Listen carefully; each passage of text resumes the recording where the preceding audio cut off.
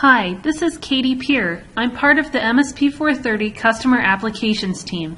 Today we're going to be discussing designing with ultra-low power segmented displays and MSP430. First, we'll quickly look at some end equipments that are enabled by MSP430 LCD.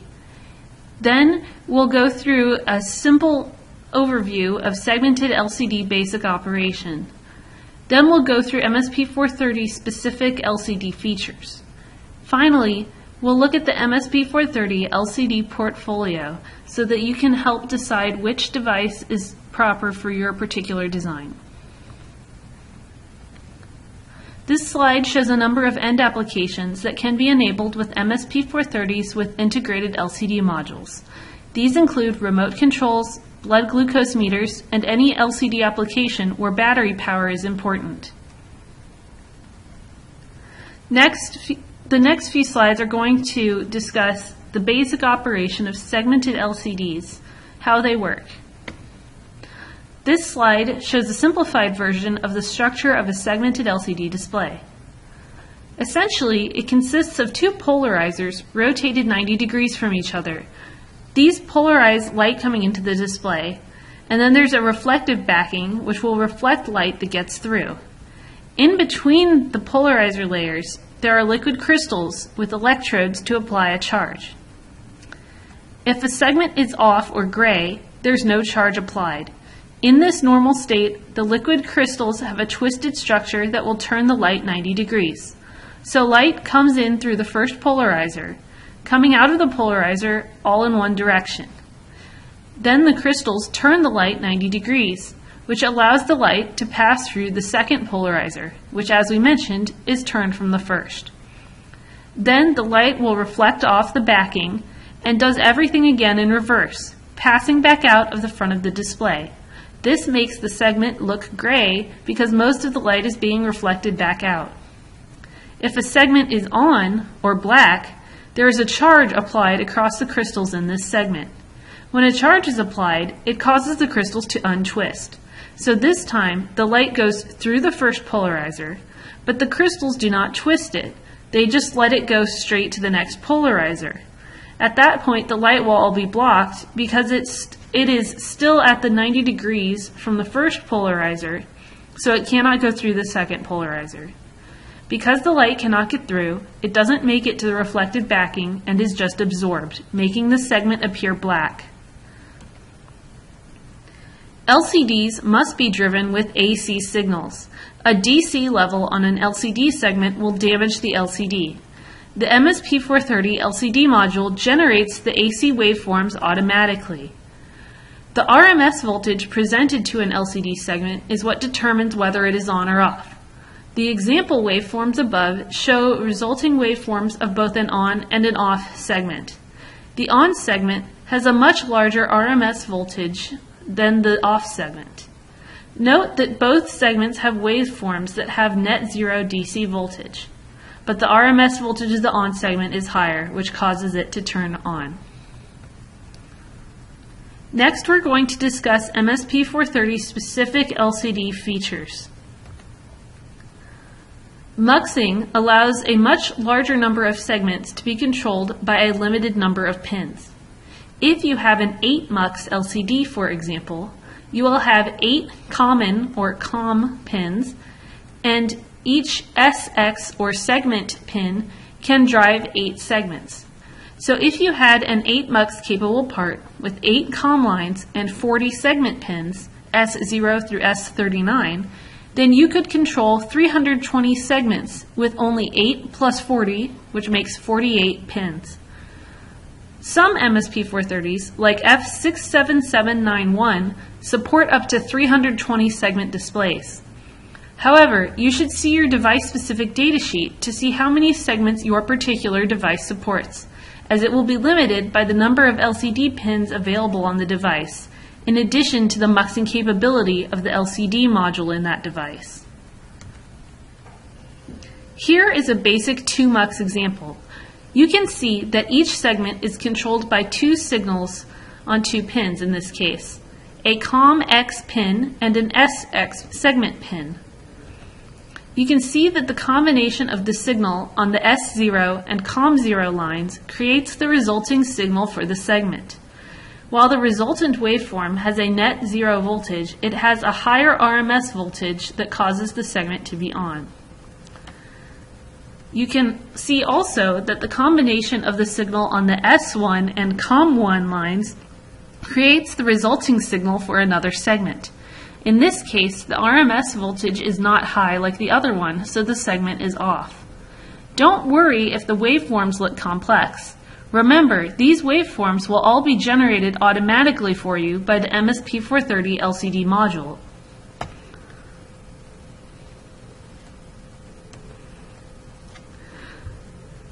The VLCD voltage sets the voltage level of V1, or the highest LCD voltage level, if you recall the waveform on the previous slide. This voltage level can be set in software to be sourced from a VCC, the internal charge pump, or from an external source. Most MSP430 modules include a built-in charge pump. The original LCD module does not, but LCD A, B, and C all have one. The charge pump has programmable voltage levels for use with different segmented LCD displays. You can also reference the charge pump voltage off of an external source. This is useful if you want to use multiple MSP430s together to control a larger segmented display than you could control with a single device. There is an app note on TI.com on how to do this. The charge pump requires an external capacitor for operation. If you do not have this capacitor, and the charge pump is turned on, you could damage your device. Because of this, some of the newer LCD modules, like LCD-C, include detection circuitry that will automatically disable the charge pump if no cap is present and set a flag to help warn you. The voltage V1 from the waveforms we saw earlier is generated by VLCD which as we just learned can be sourced either externally or from the internal charge pump. To produce the rest of the voltages in the waveforms V2 through V5, you need to be able to produce the bias voltages at fractions of VLCD. This can also be generated either internally or externally, and it can be set entirely independent of how you've chosen VLCD to be sourced. Depending on the muxing and specific MSP430 device you are using, Different bias options like one half and one third are available. Generating the bias voltages internally is simpler because you do not have to provide any external resistor dividers. However, generating the bi bias voltages externally can be lower power. However, it requires you to provide external resistor divider circuitry. The resistors in the divider should all be the same as each other, but the size used will depend on your particular display that you are driving. When using the charge pump, the VLCD of the display is software controlled. This allows you to be able to easily adjust contrast in software. This will adjust your other LCD voltages as well, regardless of whether you use external or internal biasing. Your different biasing modes and the particular display that you use are also going to have an impact on your contrast ratio. As you can see in the chart, the contrast ratio can be represented as the RMS voltage for on and the RMS voltage for off, divided by each other. As you can see, you'll get better or worse contrast depending on the muxing and bias configuration that you're using with your display as this will affect the waveforms that are output. Some configurations trade off a reduced contrast ratio for a reduction of the full-scale LCD voltage VLCD used. You can also control contrast externally. Most MSP430 LCD modules include internal timing generation. The clock can be further scaled and divided within the module to achieve the desired frequency for FLCD. FLCD is the frequency that generates the timing for the common and segment signals. You can determine your required FLCD using the calculation at the bottom of this slide. FLCD equals 2 times mux times F frame, where F frame is the frame frequency from the datasheet of the LCD that you are driving. Usually your LCD datasheet will have a range of allowed frame frequencies, which gives you options when choosing the FLCD to use. The thing to keep in mind is that the lowest frequency will give you the lowest current consumption, but the highest frequency will give you the least flickering on the display. So typically, it is a trade-off between performance and current consumption that you need to weigh when trying different FLCD frequencies. The way that you indicate in your software which segments should be on or off is through the LCD memory registers. Each bit represents a single LCD segment connected to a common and segment pin pair. The row corresponds to the segment pin, and the columns, each bit within the row, correspond to the common pin. In 2MUX through 4MUX modes, the upper and lower nibbles of each row correspond to different segment SX pins. In 5MUX to 8MUX modes, there are more than four common pins, so the whole row must be used for each segment SX pin. The example at right shows the memory configuration in 2MUX to 4MUX mode. You can see that the 38 and 39 segment pins correspond to the lower and upper nibbles of the byte.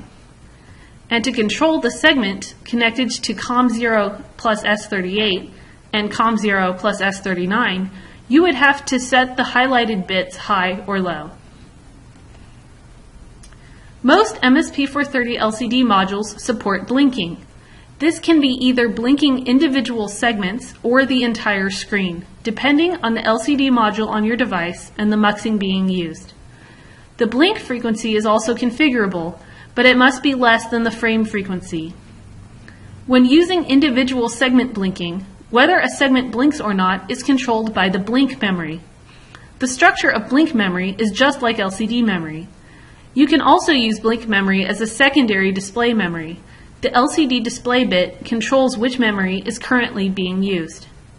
You can also use one of the blinking modes to toggle automatically between displaying the two memories. Blinking features supported can vary between LCD modules and can depend on the MUX mode being used so be sure to check your specific device datasheet and user's guide. Some MSP430 devices have just dedicated LCD pins. However, others have configurable pins muxed with digital I.O. functions. When you aren't using all of the LCD pins on these devices, you are then able to use the other pins for other functions by configuring them in software. Depending on the module, you can control the pin selection in groups of pins or down to the individual pin level. The MSP430 LCD modules are designed with ultra-low power in mind as a key focus. In addition to some of the low power options we discussed in earlier slides, like the adjustable charge pump voltage level and the options for external biasing, the charge pump is also only on for a small percentage of the time. It runs with a low duty cycle, so its peak current will only be seen for a very small portion of the overall time the LCD is on. This helps the LCD to keep a very low overall current. As you can see in the example on the right, this example is for LCD A. The charge pump has a peak current of 2 milliamps on this part, but it is only on for 425 microseconds. As this is a very small portion of the overall time, the average current comes out to only 2.3 microamps. And this is just an example for LCDA. There are other LCDs that have lower peak current. For example, the MSP430 F6736 device with LCD-C has a peak current of only 400 microamps, so its average current is even lower. See your device-specific datasheet for more details. Driving larger LCD LCD uh, glasses can present its own set of difficulties. It is harder to keep good contrast on larger LCD glasses, and they consume more current because each segment is like a capacitor that's constantly being charged and discharged. Big, a bigger LCD with bigger segments has a bigger capacitance and more charge happening each cycle. There is an app note on the TI website on driving large LCDs with the LCD peripheral. This should prove helpful if you're using a large LCD glass. Please note, when we talk about large LCD glass, one of the things we're talking about is a large digit size, not just a large number of segments. The size of the digits is going to affect uh, the difficulty of driving it. The next couple of slides are going to discuss LCD layout and software considerations, namely, how choosing a particular display and a particular layout can make your software easier to read and use. Choosing the right display and carefully choosing which MSP430 pins you want to connect to particular pins on the display can make a big difference in the ease of use of your code and its efficiency. This ties into how the display muxes different areas together onto the same seg pin in relation to what types of things you will be displaying on the display, like alphanumeric characters. It also relates to the way the MSP430 LCD memory is structured in different MUX modes. As you can see, on this 4MUX display, to be able to make all the digits 0 through 9, you only need to use two pins as you can see them highlighted in red and blue on this slide. This is a nice feature of this particular display in that these segments are neatly grouped onto only two pins, rather than one of the segments that make up the, the numerical character being on another pin. This is going to be one thing that helps simplify our code. Next, we will need to choose a set of LCD pins on the MSP430 to correspond to these two segment pins on the LCD. Remembering the memory layout of the LCD registers, you will remember that in 4MUX mode, which is what this display is, each segment pin corresponds to one nibble of the memory register. So the best option in this case is to put both of the LCD pins 1 and 2 that we need to, create a digit on MSP430 LCD pins that share the same LCD memory register. This way, we can do a single byte access to write the whole digit, instead of having to handle doing two separate accesses, where we'd have to be careful to not alter the other nibble of the register when we did a write. This slide shows displaying the digit 2 with a single memory access on the same display we were talking about before. There's also a few tips on how to make your software easier. To display the 2, on pin 2, we need these bits set. And on pin 1, we need these bits set. Now we have an 8-bit number that we need to write into LCD M5. This will display the 2 on the display. However, to make things easier, you can create a lookup table for yourself.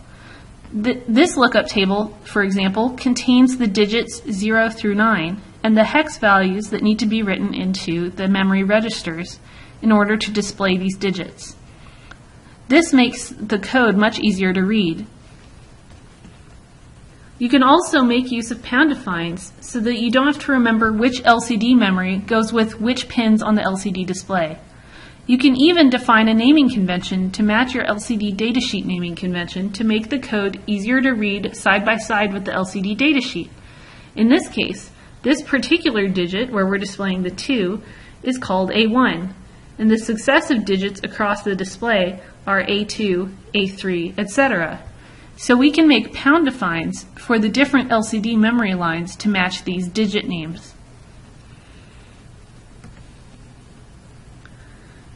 Next, we will have a quick overview of the MSP430 LCD portfolio and mention a few devices that contain the different LCD modules.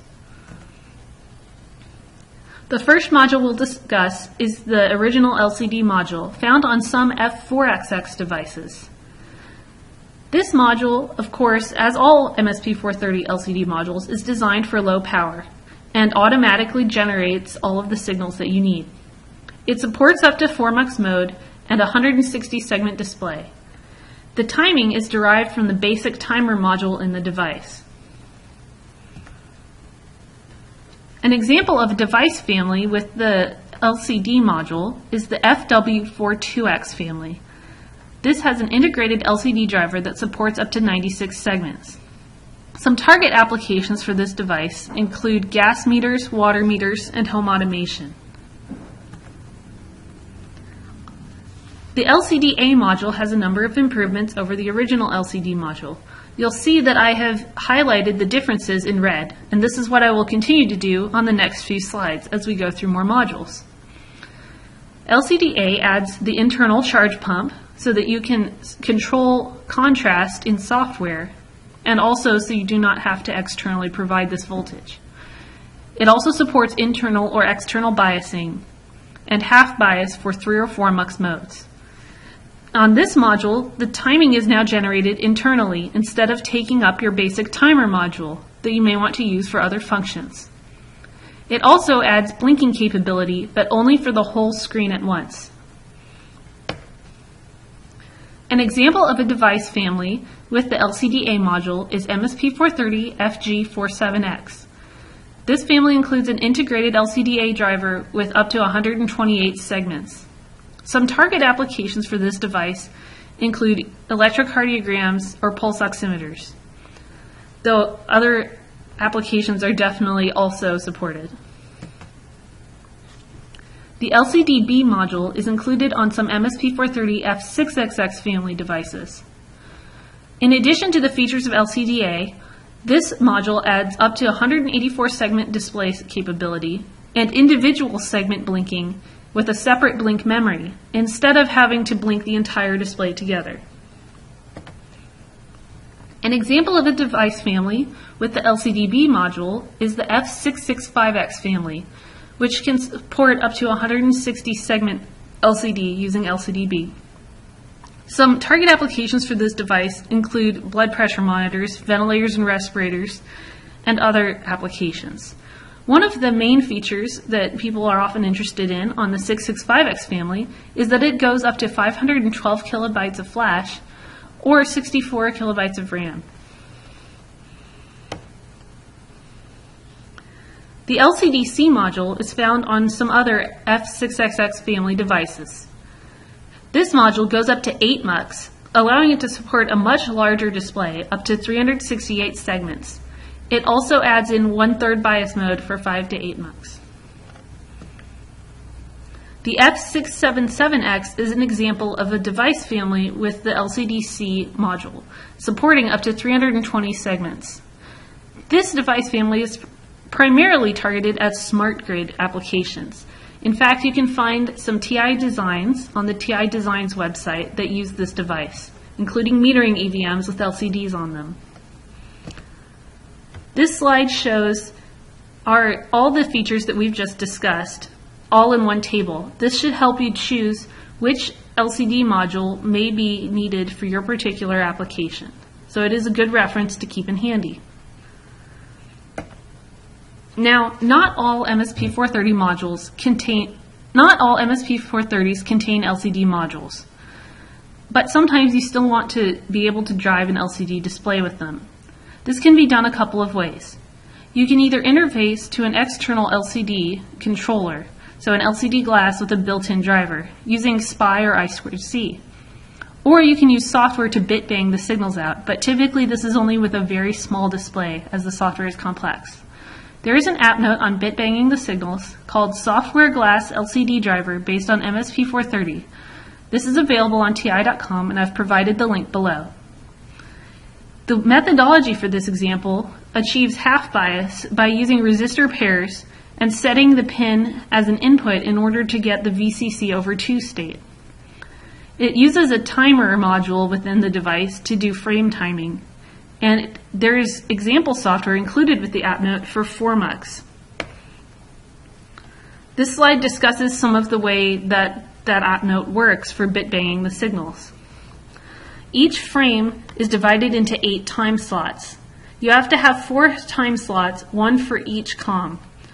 And then each of these needs to be divided into two parts since we aren't going to be able to have a DC signal because LCDs have to have an AC signal. We must toggle somewhere in the frame. This is why we have to have eight time slots. The internal timer A module is used to generate the eight slots. Each time the timer interrupt fires, the device wakes and in software decides all of the common seg lines state that needs to be set, depending on what time slot we're in. As you can see in this picture as we go through it, if the segment and COM signal in a particular time slot are the same as they are on this slot that's highlighted right now, then the resulting waveform has the segment off. However, if the segment and common signal are opposite, then the segment is on because the combined waveform has a higher RMS current voltage. You can see that only three voltages are used. A full scale, ground, and the VCC over 2 generated by setting the pin as an input. There are trade-offs to bit banging your LCD signals. The advantage is that you can have a small LCD controlled by a part that doesn't have an LCD module, so this gives you increased device options. However, there are several disadvantages versus using a device with an LCD module built in.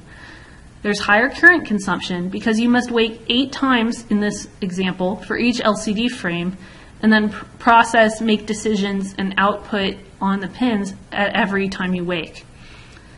Also, you're taking up CPU cycles just to keep the display on, even with, if none of the segments are changing, because you're still having to wake up every eight times to keep the pins toggling and keep the display on. If you were using a display with a built-in LCD module, this toggling, these waveforms, would be happening automatically from the module, and you wouldn't have to wake up the part just to keep the LCD in the same state. There's also more external components needed and much, much more complex code. There are also some displays that have built-in LCD drivers. Usually these are dot matrix LCD or e-paper displays. These are typically controlled using SPI or I2C, so an MSP430 with the USI, USCI, or eUSCI module can easily control these types of displays. Please note that some displays do not have readback capability, so in order to know what's already on the display, you may need to store a copy of the current image in your MSP430 RAM or FRAM to keep track of what's on the display. An example of a dot matrix LCD controlled using a serial interface is the Sharp LCD booster pack available at TI.com. Next, I'm going to go through a couple of MSP430 segmented LCD EVMs and reference designs that you can find as an example. I've tried to select one for each MSP430 LCD module option. The first is the F4XX Experimenters Board. This features an MSP430 FG4618 device, which has an LCD-A module. The EVM has an 88-segment LCD that displays digits and a number of other symbols on it, and it uses 4MUX mode. This is a general-purpose EVM, so it has a variety of different interfaces to, to show off the different modules of this MSP430 device. These include a microphone, a buzzer, touch capability, a headphone jack with audio out, and RF headers for TI wireless eval modules. The EZ430 Chronos kit features the CC430 F6137 device, which has an LCD-B module. The display is in a watch form factor, so it's a 96 segment display displaying the time and some other numerical symbols and other symbols. It again is a 4MUX display. This watch development tool is not only wearable because it's in a watch form factor, it also includes an accelerometer, integrated wireless, and comes with its own programming interface. Finally, there is the EVM430 F6736. This is a metering EVM. It features the F6736 device, which has an LCD-C module and an LCD display of 160 segments, including 14 segment characters that can do alphanumeric characters, as well as other symbols. This is a single phase metering EVM that takes a number of different metering measurements. You can find this tool at ti.com and you can also find it under TI Designs where you'll find another, a number of other documents and support for it. Thank you for your time. And please, if you need have any questions, please check the TI website where we have a number of different reference designs on TI designs and application notes concerning LCDs. And also you can find help on the Texas Instruments Engineer to Engineer E2E forums at e2e.ti.com. Thanks.